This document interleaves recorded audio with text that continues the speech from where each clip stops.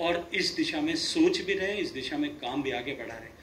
अब हमारे विचार, क्योंकि पिछले सत्तर सालों में अनेक बार इस विषय पर, जल के विषयों पर रिजर्विनेशन के रिवर्स के विषय पर चर्चा हुई होगी। लेकिन शायद पहले वो सिर्फ़ चर्चाओं तक सीमित रहता था, अब वो चर्चाएँ मूर्त रूप लेकर के धरातल पर उतर रही है।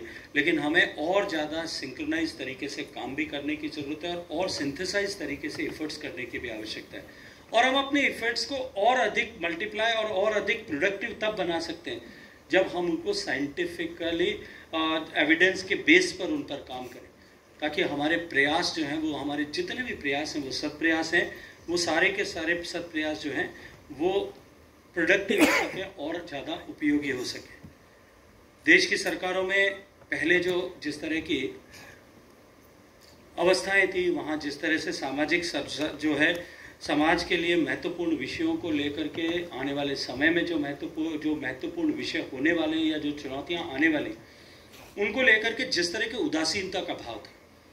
क्योंकि जब अगर हम 50 साल पहले की परिस्थितियों को उठा करके देखें देश में, per capita water availability used to be somewhere around 5000 cubic metres और मोर देन दैट उतनी ही बरसात होती है उतना ही पानी उपलब्ध होता है, लेकिन क्योंकि पॉपुलेशन जो है वो साढ़े तीन गुना बढ़ी तो आज हमारी पर कैपिटा अवेलेबिलिटी है जो वो घट करके 1500 क्यूबिक मीटर्स के भी नीचे आ गई। लेकिन ये यकायक एक दिन में तो नहीं हुआ। हम इसको जो है फोर्सिंग कर रहे थे। हम पिछले 40 साल से बढ़ती हुई 50 साल से बढ़ती हुई पॉपुलेशन पर चिंता भी कर रहे थे। हमारी सरकारें उसको लेकर के अनेक तरह की चिंताएँ भी करती थी। फ़ूड सिक्योरिटी आने वाले समय में कैसे होगी? 2050 तक दुनिया की आवश्यकता जो 9 बिलियन पर्सन हो जाएँगे, हमारे देश की आबादी बढ़ करके 2050 में जहाँ पहुंचेगी, उस समय हमारी आवश्यकताओं की प्रतिपूर्ति हम किस तरह से कर पाएँगे? इन विषयों पर चर्चा तो होती होगी। लेकिन उन चुनौतियों और उन आसन संकट के समाधान के लिए हमें क्या काम करना है? शायद उसको लेकर के कहीं उदासीनता थी, उसको लेकर के जिस तरह के ठोस कदम उठाए जाने थे, चाहिए थे हम नहीं उठा पाए, उसके कारण से एकाएक। और ये जो क्लाइमेट चेंज का इम्पैक्ट आएँगे, जो आज हमारा दरवाज़ा खटखटा रहा है वो आने वाले 20 साल 25 साल पहले भी क्लाइमेट चेंज पर चर्चाएँ शुरू हो गई थी कि आने वाले समय में इस तरह की चुनौती आएगी, लेकिन हम ये मानते हुए कि नेक्स्ट मिलेनियम का या नेक्स्ट सेंचुरी का संकट होगा, या 10 साल पहले भी कि नेक्स्ट डिकेड का संकट होगा नेक्स्ट जनरेशन का संकट होता, हम आँख मूंद करके उससे प्रति उदासीन होकर के बैठे थे। लेकिन आज जब वो चुनौती हमारे सामने आकर के खड़ी हो गई और भारत जैसे देश के सामने जहाँ आबादी की तुलना में पानी की अवेलेबिलिटी बहुत कम है 18 प्रतिशत का आबादी और 18 परसेंट कैपिटल कैटल पॉपुलेशन के अगेंस्ट में केवल 4 परसेंट जब पानी है।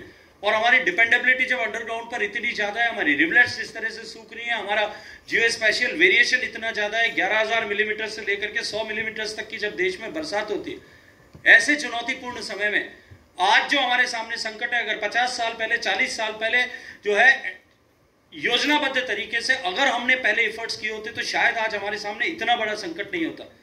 लेकिन आस्था से लेकर के अर्थव्यवस्था तक जो सबसे महत्वपूर्ण घटक है। आस्था, जैसे मैंने कहा कि हमारी नदियाँ, हमारे जल संसाधन, हमारे लिए आस्था के विषय भी थे और अर्थव्यवस्था के लिए भी महत्वपूर्ण। क्योंकि दुनिया की जितनी भी डेवलपिंग कंट्रीज़ या डेवलप्ड कंट्रीज़ जब वो डेवलपमेंट के स्टेज से गुजर रही होंगे। उस समय के उनके, आप डेवलपमेंट के, इकोनॉमिक डेवलपमेंट के ग्राफ को उठा करके देखें और उनके वाटर रिक्वायरमेंट के ग्राफ को उठा करके देखें, वो एब्सोल्युटली सिमिलर ग्राफ होगा। सिमिलर ट्रेंड जो होगा। और तीसरा सिमिलर ट्रेंड जो है एनर्जी का होगा कि एनर्जी का कंजम्पशन वाटर का रिक्वायरमेंट और इकोनॉमी का डेवलपमेंट का ग्राफ एकदम आइडेंटिकल ग्राफ होता है ओवरलैपिंग होता है। तो इसलिए हम क्या हमारे आस्था से लेकर के, आज ही अर्थव्यवस्था तक और अर्थव्यवस्था से लेकर के आजीविका तक जो सबसे महत्वपूर्ण घटक है, उसका चिंतन पिछले समय में सरकारों ने नहीं किया, उसके कारण से चुनौती खड़ी हुई थी।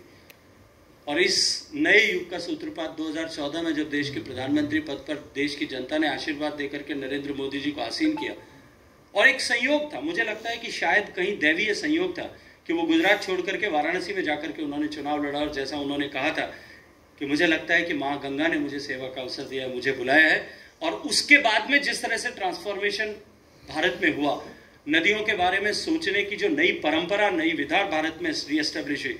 एक होलिस्टिक प्लानिंग अप्रोच के साथ में जिस तरह से प्लानिंग हुई, उसके एफर्ट्स हुए और उसका परिणाम आज जब दिखता है, जब पूरा देश देश ने देश भी देख रहा है और पूरी दुनिया भी उसको देखती है कि हम ट्रांसफॉर्मेशन जिस काम को करने में हमारा जो है, इंग्लैंड को 20-30 साल का समय लगा, जर्मनी को राइन्स के, राइन के ट्रांसफॉर्मेशन में 28-30 साल का समय लगा होगा, डेन्यूब के ट्रांसफॉर्मेशन में शायद स्वीडन को 25 साल से ज़्यादा का समय लगा होगा।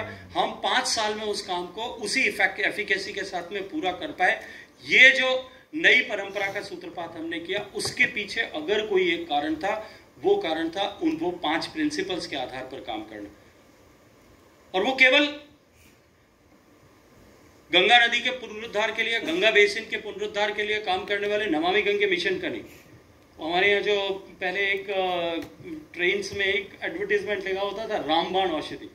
उनसे हर्ड लिखा होता था, रामबाण औषधि। सब बीमारियों की एक दवा है। मुझे लगता है कि जितनी चुनौतियाँ सामने खड़ी हैं, उन सब की एक दवा अगर कोई है तो ये प्रिंसिपल जो पाँच पी का प्रिंसिपल है, जिसके बारे में चर्चा अभी आदरणीय तारे साहब ने की थी कि पॉलिटिकल विल हो पब्लिक स्पेंडिंग हो पार्टनरशिप्स हो। और इन सब पाँचों जो विषयों को, इन पाँचों पी के प्रिंसिपल पे हम काम करें तो निश्चित रूप से सफलता प्राप्त हो सकती है। निश्चित रूप से हम आगे बढ़ सकते हैं। देश की सरकार, माननीय मोदी जी के नेतृत्व में, देश को जिस तरह से आगे ले जा रही और आने वाले समय में जिस गति से हमारा देश आगे बढ़ रहा है, हम दो ट्रिलियन से तीन ट्रिलियन की इकोनॉमी पर पहुँचे, और बहुत सशक्त ठोस कदमों के साथ में हम पाँच ट्रिलियन की तरफ़ आगे बढ़ रहे और पाँच से दस ट्रिलियन के आगे का रोड मैप भी तैयार है। आज हम दुनिया की पांचवी सबसे बड़ी इकोनॉमी भी बन गए और आज दुनिया के सारे इकोनॉमिक एनालिस्ट जो लोग, हमारे धुर विरोधी हैं, ऐसे लोग भी फाइनेंशियल टाइम्स से लेकर के, और ब्लूमबर्ग तक सारे लोग, सब लोग इस बात को एक संवेद सर से स्वीकार कर रहे हैं कि आने वाले तीन, चार साल के अंदर अंदर हम जापान को पीछे छोड़ करके, हम जर्मनी को पीछे छोड़ करके दुनिया की तीसरी सबसे बड़ी अर्थव्यवस्था हो जाएँगे।